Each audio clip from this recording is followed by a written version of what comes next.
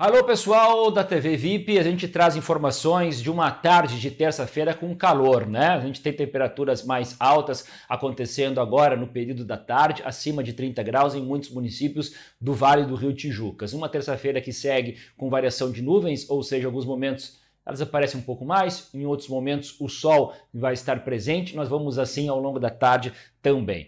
Bom, pessoal, esse calor ele ainda ocorre, o abafamento, temperaturas mais altas na quarta-feira, mas é um dia onde eu peço atenção especial para vocês. Deve começar até com um tempo mais seco, alguma abertura de sol, apesar de já ter uma boa presença das nuvens de manhã. E ao longo do dia, o céu vai ficando mais encoberto e por nuvens carregadas, e portanto, da tarde da quarta, noite para quinta, tem previsão de chuva aqui na região. Pode chover forte e ter temporais. A chuva no Vale do Rio Tijucas ela é bem distribuída, tem essa previsão. Agora, ser forte com temporais, não em todos os municípios, é um pouco mais pontual, mas preste atenção na chegada dessa instabilidade ao longo da quarta-feira. Mesmo que intercale com períodos de melhoria, e isso deve acontecer especialmente na quinta-feira de manhã, a quinta-feira é outro dia onde seguiremos com nuvens carregadas, em alguns momentos tem previsão de chuva ainda, tá bom?